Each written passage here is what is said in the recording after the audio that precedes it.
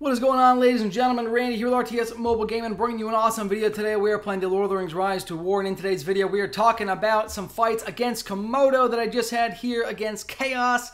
Server 115 Season 6, folks. Komodo just came in and punched me directly in the face with two commanders. Actually, I punched him. So we're going to take a look at that uh, those fights right now. Like and sub. Here we go right into the combat, folks. First off, we're going to talk about Balin, okay? We're going to be taking a look at Balin versus Sauron. A lot of pew-pew going on here. Super duper exciting. Okay, so the first thing we're going to take a look at is Sauron's build. This is a very high respect level Sauron.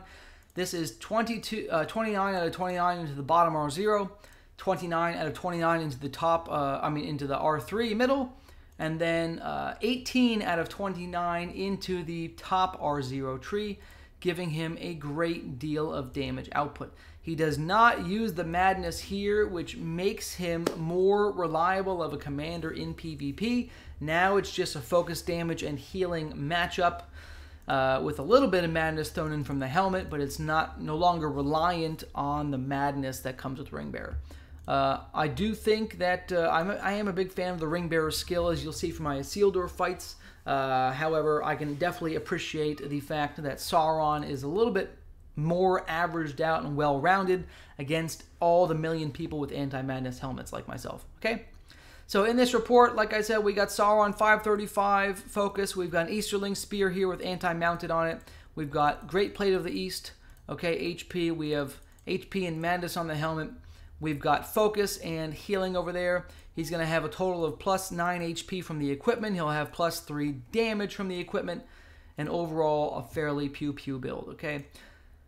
Unit-wise, he's got the War Chariots, he's got the Dragoons, and the Halberdiers, okay? I like it. All right. Balin. You probably remember my Balin build from the other day when I did my other video against uh, my good buddy Alexi. So here we go. We have Retaliate Balin right here with plus 7 attack to his units, plus 9 HP to his units, right? Plus 9 HP, plus 7 attack, plus 4 defense. Really not a lot there. uh, and 335 might. I would like to get the might higher, but it is where it is. We have Hysteria plus HP over here. We have Dwarven damage plus HP over here. For the build wise, I do not like the top R0, bottom R0, and R5 ball and retaliate build. Do not even talk to me about that build. I prefer this hybrid build where Balin actually deals decent damage in conjunction with his units. And I feel like that build is, again, just like Sauron without madness, is going to be more uh, prepared to fight any units with a lot of focus damage and healing. Um, same thing here. Okay? So, nice, well rounded commander. A lot of damage coming from Sauron's units. My units put out some good damage with some healing. Uh, his units put out uh, some fantastic damage from the Halberdiers here, which is crazy because they're um, infantry. And then uh, some good healing and damage from Sauron himself, okay? Let's take a look at the report, folks. Here we go. Get excited, like, and sub. That's right. All right. Round one. Here we go. Right away in round one, we have Sauron hitting for 3k, the Dragoons hitting for 4k, my Retaliate hitting for 5k. So now it's an 8 versus 5k offset here, right? Uh, you basically have a 3k differential. I come in with a 5500 heal and I offset that. And now I am ahead by 1500 damage in the first couple instances of the fight. I love it. All right. War Chariots with the Scythe. Okay, he's starting to pull ahead here as round one progresses. Some Madness, very nice. Madness helped me out. The War Chariots uh, were attacked by their own Halberdiers. Good focus damage from Sauron. Okay, and then no auto attack from the Guardians because they do have Madness, all right? Woo, that's a lot of damage from Trembling Strike. This is what's called a lot of damage from Trembling Strike, folks. So just picture how much damage this Sauron might be dealing if I had three units in my march and he could deal maximum damage with Overload and all these AoE abilities. Because he's only fighting one target, his damage is already cut in half. That's one of the advantages of fighting with a single stack, right? Sometimes you fight like a Ysra that double debuffs you and you get exploded on. Sometimes you fight a Cestaro or a Sauron and, uh, you know, you're having less less units benefits you. All right. Here in round three, big old focus damage from Black Arts, anti-heal. Now, listen to this. Because of the speed on the Guardians, they are going to actually get impacted by this anti heal for almost two entire rounds. Since Sauron attacks first in round three, and Guardians will attack last in round four, you're going to have basically two entire rounds of anti heal, even though Black Arts only affects one real round. Interesting to know if you didn't realize that. Soul Siphon hitting me. Good healing from Soul Siphon there. Then we have Sustain coming in hot and heavy. Okay. Um, and then here we go. Guardians beset by madness are not able to heal themselves anyways because they're under black arts. Dragoons coming in, getting punched back in the face, directly in their face. Balin coming in with Whirlwind, ladies and gentlemen, punching these guys directly in the eyeballs here. Two hits, one to the Dragoon, one of the Halberdiers, 19,000 damage, 18 1,350 damage on the dot. Actually, that's kind of fun. Oh, oh, 360. I can't. I can't do math. Leave me alone. Okay, a lot of damage. A lot of damage. This round four coming up is the big one. Ooh, these halberdiers are really hitting. They're really hitting pretty good. So check it out. One anti-heal. Two anti-heals. Keep in mind, each heal is about 5k. We'll just round it to 5k, up and down. Okay? Two times now I haven't gotten auto attack because of madness. And the auto attack from these guys hits decently, right? 1700. It's pretty bad. Never mind. All right, so two auto attacks missed, two heals missed there in uh, uh, round three. Okay. Here we go, round four. Trembling Strike is back with a vengeance to punch me in the face again. Very nice Komodo with that focus damage. I can only imagine if I had multiple units. And here comes Balin's big old damage puncheroo in round four, ladies and gentlemen. He's got heavily wounded with an anti-heal on the Dragoons. 13k, and then we have a 20k hit on the Dragoons again uh, from All In, meaning these guys really got the whoopee-doo on them. They took about 33k damage, 32,500 damage plus or minus from Balin in round four after Balin's already lost uh, a third of his troops. It's not too bad. It's not too bad. Okay? Really playing well. The Halberdiers are continuing to chunk away.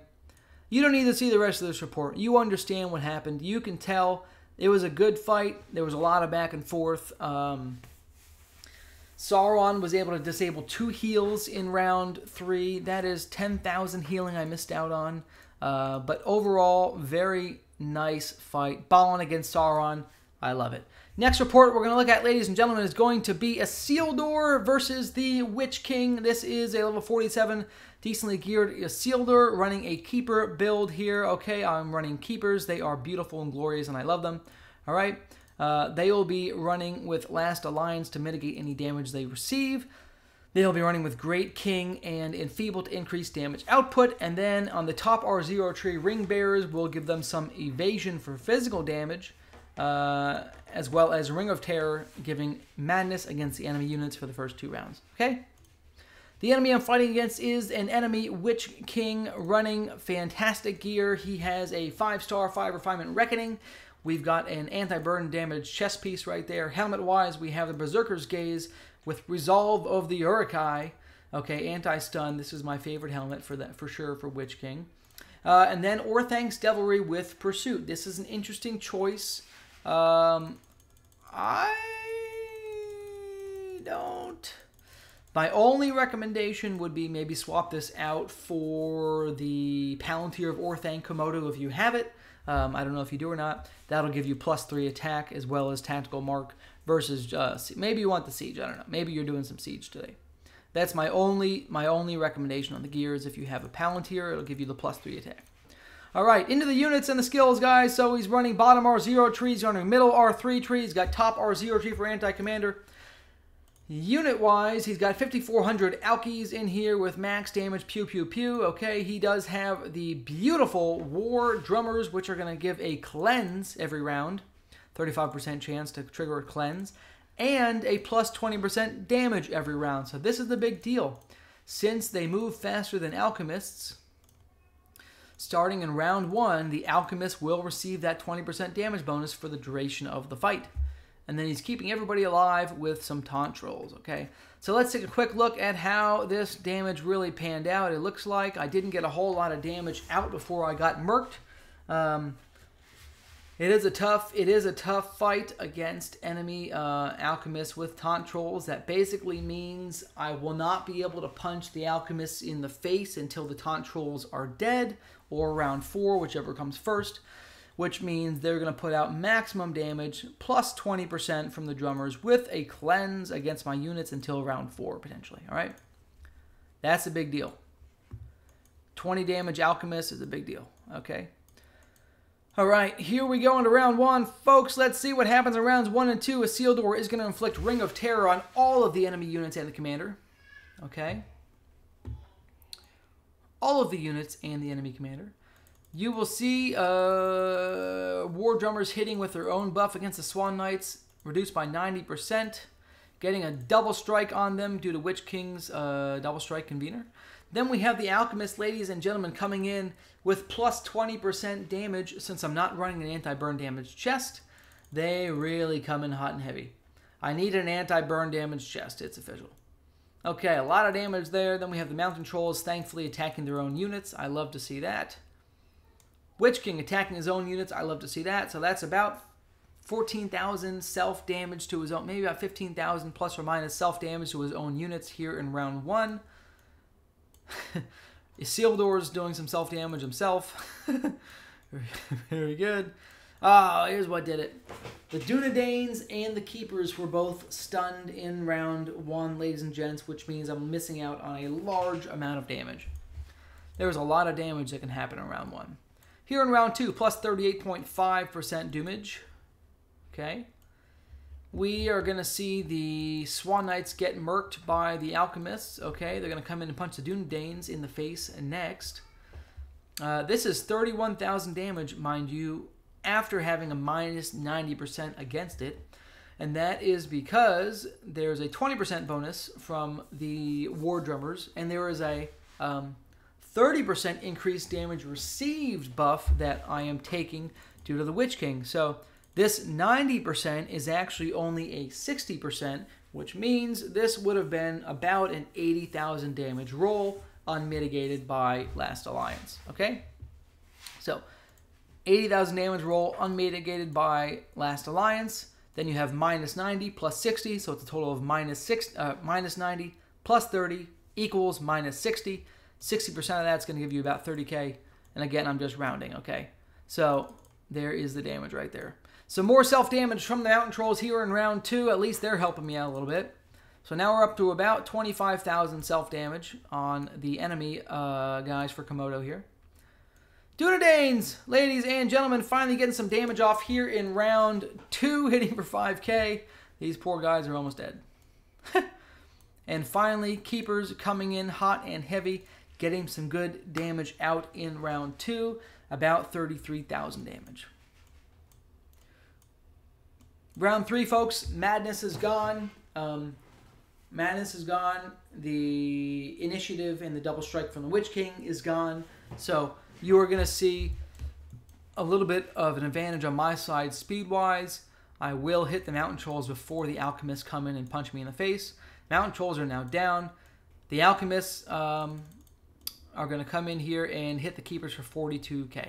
So my biggest regret, guys, I think the two biggest reasons I'm losing this fight right now is because I don't have an anti-burn damage chest to offset his um, Respect 3 Ring Wraith ability, A, and B, the Mountain Trolls had a bunch of self-damage, but the Alchemists were able to punch through with four attacks in the first two rounds, right? They didn't have any madness actually affect them.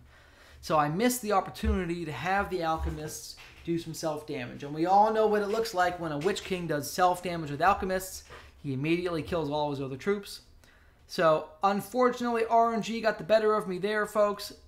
We basically had a 35% chance per attack for the Alchemist to attack their own units. Didn't happen, unfortunately. All right. I mean, that's the fight. What else do you want to see? That's the fight. Good fight, Komodo. Love you long time. Great, uh, fairly even fight, I think. Balin versus Sauron. Nice kill on my Isildur. Love you long time. Like and sub, folks. Randy out.